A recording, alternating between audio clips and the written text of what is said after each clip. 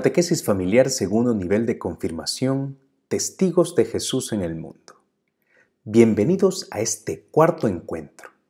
El tema de hoy es malas noticias, buenas noticias. El hombre lamentablemente ha hecho muchas veces mal uso de su libertad, dañando irresponsablemente no solo su propia vida, sino la vida de los demás e incluso la del planeta.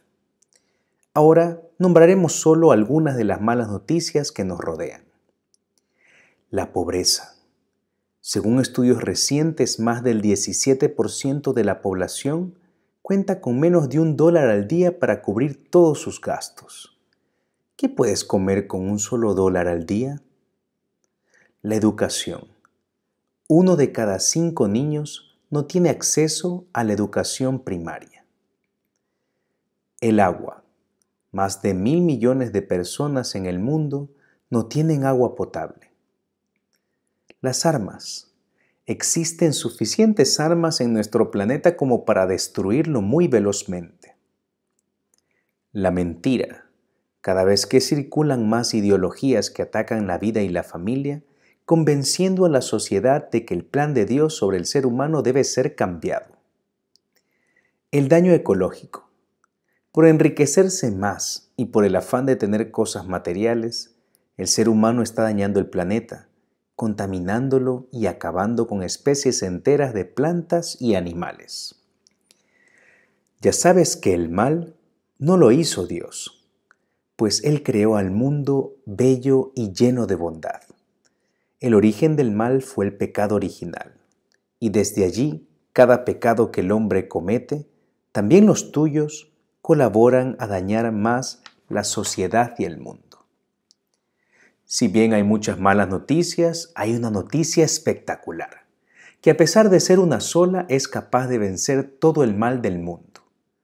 Dios no nos ha abandonado, ha enviado para salvarnos a Jesús, su propio Hijo. Por eso Cristo comienza su ministerio invitándonos a convertirnos, a cambiar de vida y a creer en el Evangelio, palabra que significa precisamente eso, buena noticia. Quienes creemos en Cristo sabemos que el mal no puede vencer por tres razones. Primero, Jesús perdona nuestros pecados, dándonos la oportunidad de corregir el mal que hemos hecho. Segundo, cuando seguimos a Cristo, nuestro modo de tratar a los demás cambia dejamos a un lado el egoísmo y pensamos en los demás, haciendo así un mundo mejor. Tercero, cuando nos promete Jesús que el bien triunfará definitivamente en el cielo, es porque allí no habrá dolor, ni lágrimas, ni mal. Pidamos a nuestra Madre del Cielo que nos ayude a acoger en todo momento la buena nueva de su Hijo en nuestras vidas.